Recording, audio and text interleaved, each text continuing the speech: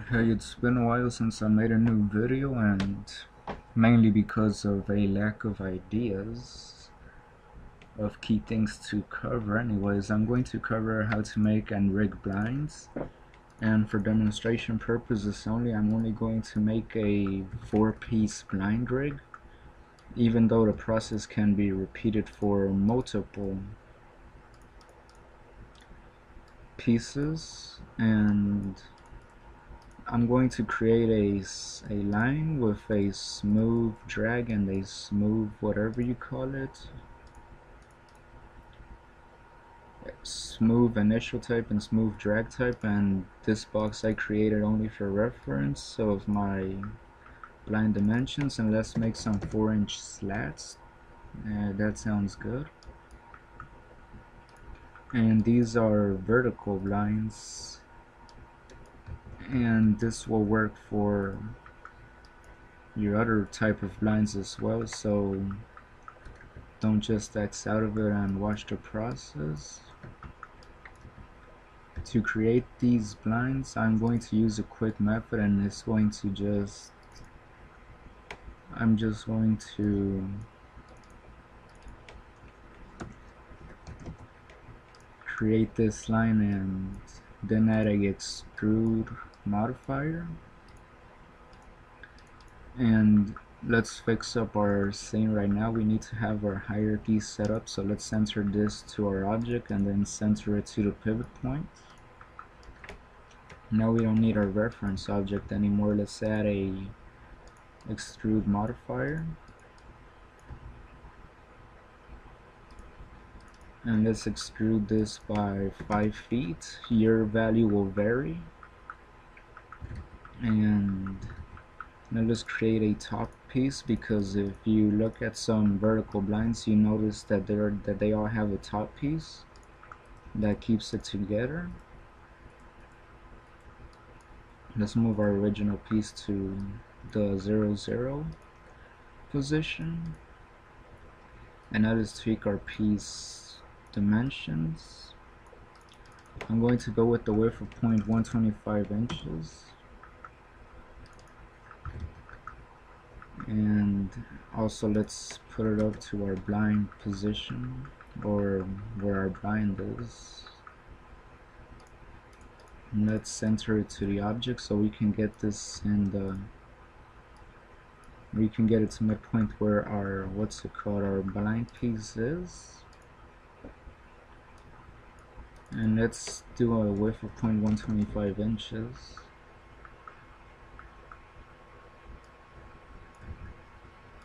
and a height of let's go with 0.5 inches. Does that look okay? 0.25 inches. The other 0.75 will be for something else. And let's make a copy of this and make it thinner by half for 0.0625 and this is going to be 0.125 inches no? Let's just leave it at 0.2 inches. And let's subtract the second object we created to have something like this and it is very important and I cannot stress this enough in this case to have all your pieces uniform because one thing in real life all the pieces are uniform. And second of all it will make the process much easier. And that's what we want. As you can see even though our circle isn't smooth and with a radius of 0.625 all the way we can fix this by increasing the segments. But that's not too important because this is just a detail small detail. And let's make the height 0.75 inches. So overall this plus this is one inch if I'm not mistaken. Yes one inch. Here you go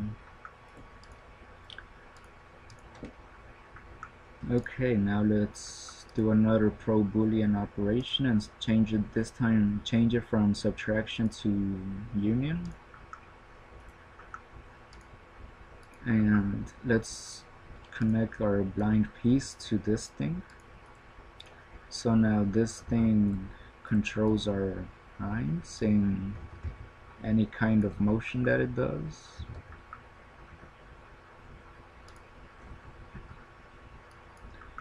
let's just give our line a little tweak. I'm guessing we don't need a tweak. It's at negative 2 and 0.25 and yes our blind is perfectly oriented.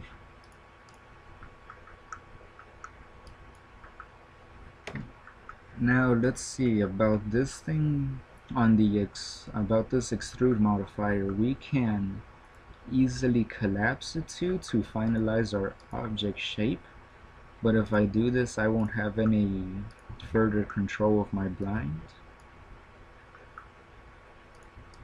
Which is why I'm not going to collapse it.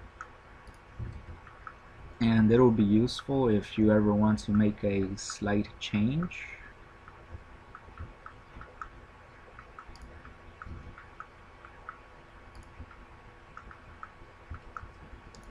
Okay, so that's the first part of our tutorial. Now let's get on to the rotation rig or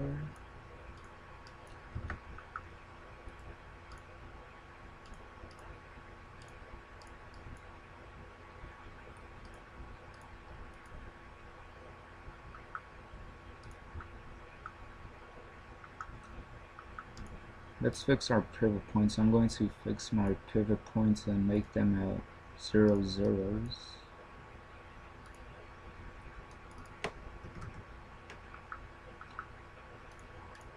Now the pivot points are closer together. Okay. Quick fix.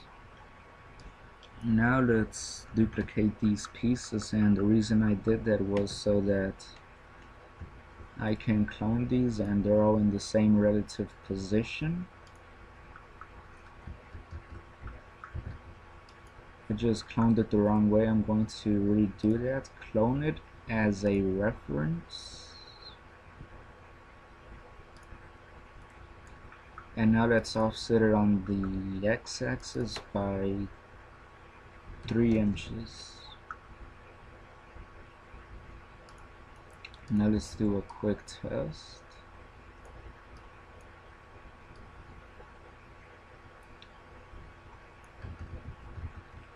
I might make this 4 inches. Oops.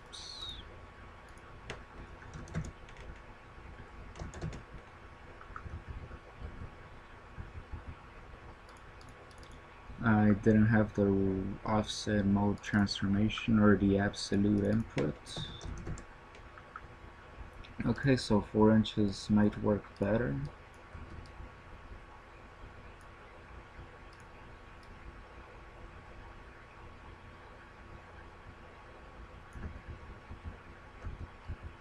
Or 3.5 inches.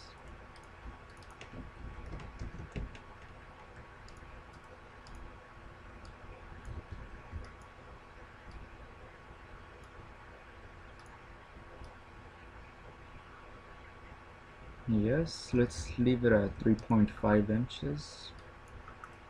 And now I'm going to repeat this process four times because that's as many that's as many operations as I'm willing to do. By operations is the by operations I mean the repeated process of linking the rotation and these things to my helper manipulator. And let's just get it over with. So let's create two of these. And we're going to name the first one. Blind rotation open and the second one is going to be blind slide open.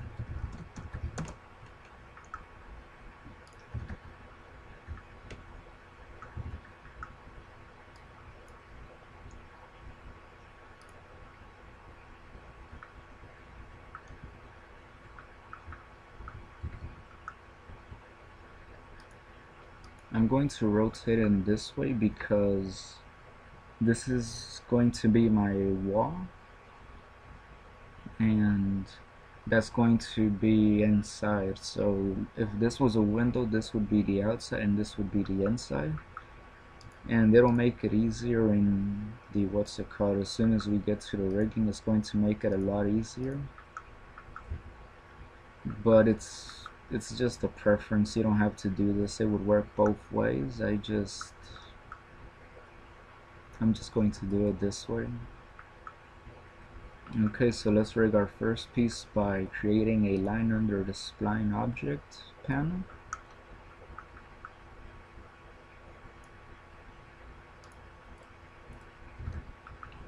And make sure your spline is on the top of this. And now let's remember I said earlier to make your pieces uniform and if you did what I did they are uniform. And if you see my object width it's 0.125 inches which means that I need to offset this vertex by half of it. If you did 1 inch it could be negative 0.5 but for me it's negative 0.0625 because that is half of 0.125 so let's go back to our line or line and offset it by negative 0.0625 using the absolute transform. Again negative 0.0625 inches not feet. I forgot to add the little inches thing. And also offset the other one by negative 0.0625 inches And now here's the fun part. Click on your... This is going to be the blind slide open. Okay, before we do that, let's just get the blind rotation open over with and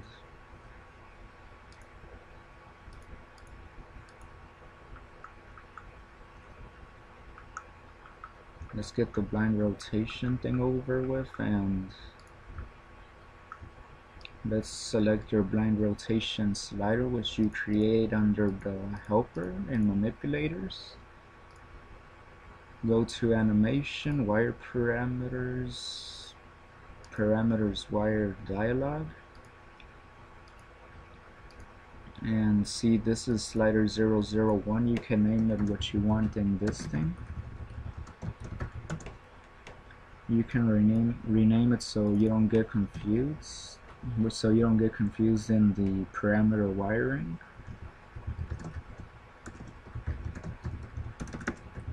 And this name is different from this name so remember that. And these names are important in the MAXScript but we're not getting into MAXScript we don't need it so let's select our blind rotation and make sure it's value. So so make sure we're adjust we're making the value tweak this thing. So highlight value and find your object. And the first one is box 01 and we're going to affect this object's rotation on the z-axis. Connect and turn on the select and manipulate so you can see. And that's that's all you need to do for the rotation under the wire parameters. The next thing we need to do is tweak our minimum minimum and maximum value so I'm going to do a minimum 1.5 and a maximum 1.5 and lower your snap value and the lower the snap value is the more precise your snaps will be or the smoother your rotations will be. So check it out now.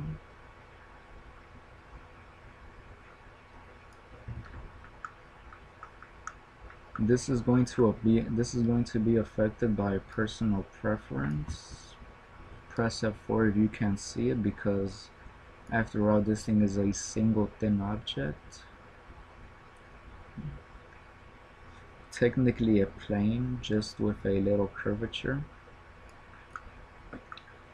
And I can tell that negative 1.5 and 1.5 is going to be too much so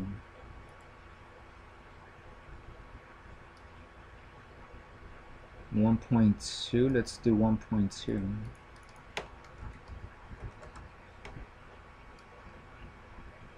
One point two looks better let's do one point three and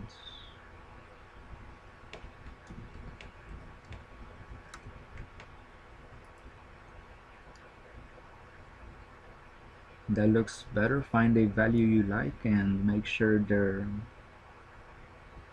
the same now let's do the other piece and the other piece is the same thing. Let's go to animation wire parameters wire dialog blind rotation open object value and find your next piece and my next piece is box 02 and we're going to affect this object's rotation on the, on the z-axis hit that button one-way connection. This one will make if I use this one it's going to make my object's rotation on the z on the z-axis affect my slider. And we don't want that we just want my slider to affect my object. So hit connect and your things are connected now. And repeat the process blind rotation open alt 5 shortcut. Connect the value to the object. My next object is box 03 we're going to affect this object's rotation on the z-axis. One-way connection connect update. The next object is box 04 but we already knew that it's the only one left and I'm sure your blind has more pieces so you will have to do this a lot more and make sure it's on rotation and not position. One-way connection connect that's it. We just finished our slider our slider that affects our blind piece rotations. And let's leave this at zero because we need to snap to our objects and by having them at zero it's going to be a lot easier.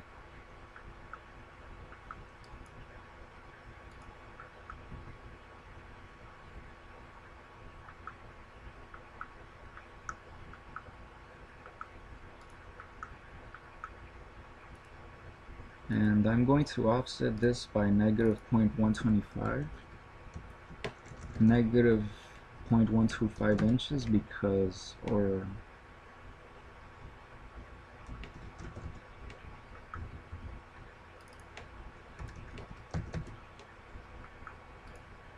I'm going to offset it by that because this is going to be my sled that doesn't move. So if you look at your blind when you close them or open them this one barely moves at all and all of these are going to collapse to it.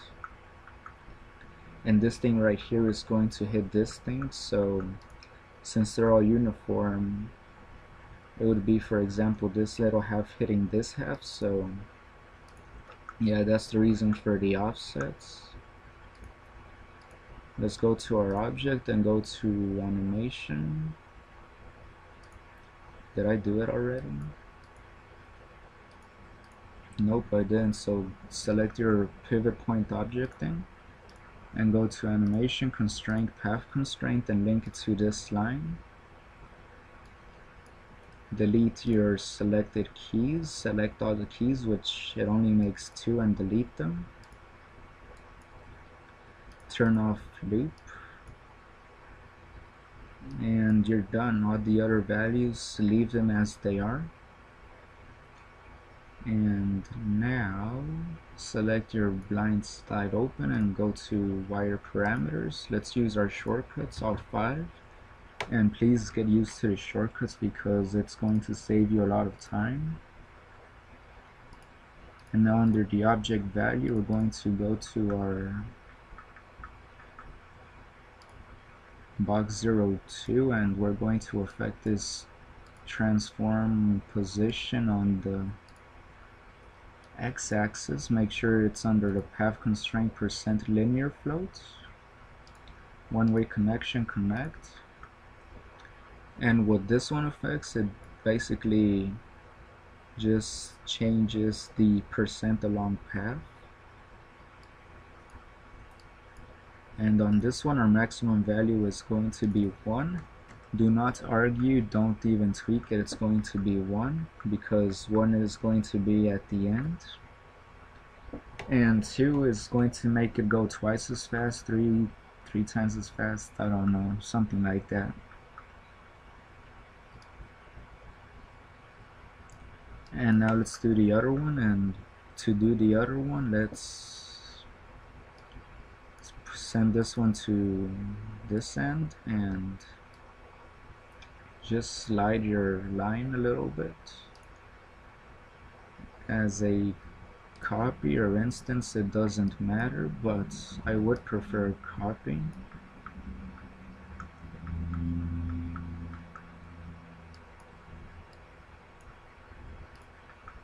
And also let's offset this by negative 0.0625 0.0625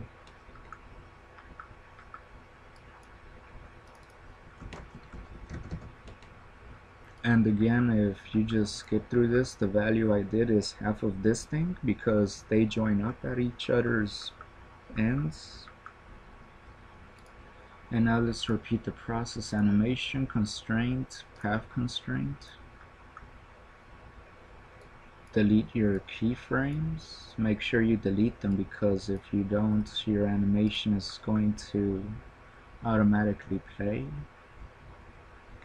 Then again I don't know if it will play. I will assume it will do that it will do it automatically without this thing's actions but I don't know about that. So anyways now select your slider, the next box is box 03, so select your slider, press Alt 5, get used to it. Value B0 float, and what is it, box 03. And we're going to affect, affect box 03 position on the x-axis using a path constraint.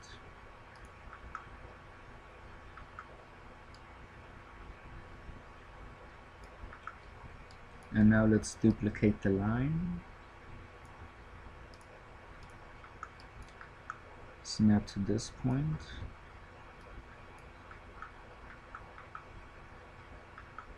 And now get the other one. Send your things all the way to the other side so you know where they end. I'll say by half of the distance between the objects. Mine's 0.0625 I'm just putting emphasis on what you need to do. And I've offset this one by 0.0625 okay now animation constraint path constraint link it to your created line. Delete the keyframes. And go to animation. Well hold on it's box 04 so press alt 5 remember? It'll save you time. Link box 04 position on the path constrained linear float hit connect. And we're done. We have a working rig. And you will have to repeat this process as many times as you have blinds and pieces. And the reason I decided to rig these blinds was because I was making some blinds for an architectural scene and decided to animate them. And when I tried animating them manually within five minutes I realized that it was pointless so I went to the max options and created a new scene and started working on a blind model. And to finish this off let's say that for example that thing is your that thing is your what's it called uh, this thing is the bar that everything else connects to.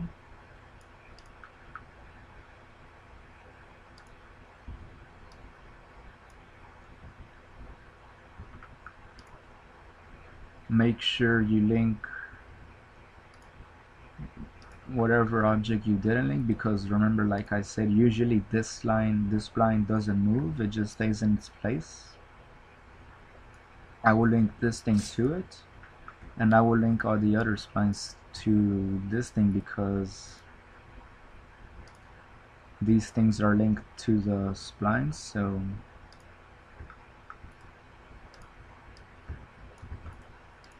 We don't need to rotate it and do not rotate it because you get this weird orientation that I just showed you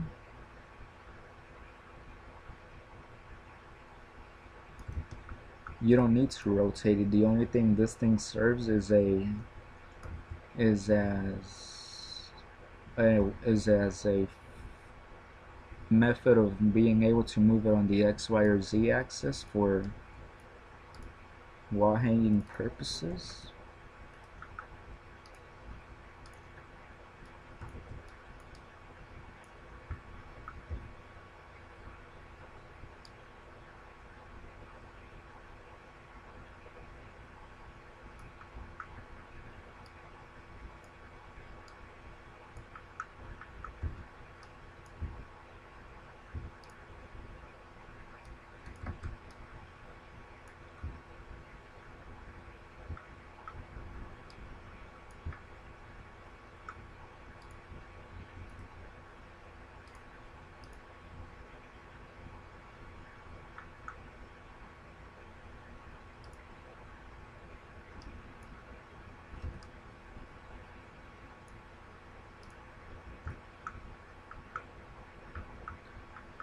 and that's all you need this thing for.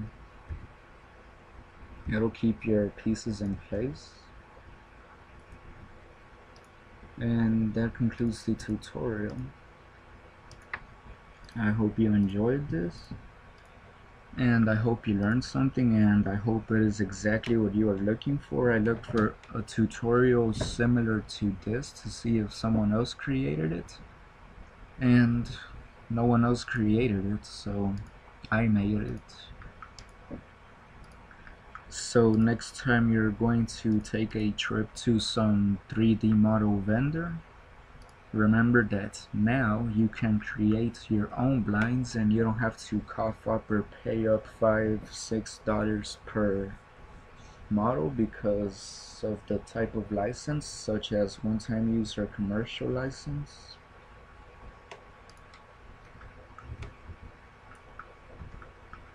and what troubles me is that this tutorial is going to be a key for a person that I'm not going to name that will be able to quickly do a simple process and well you know automate it.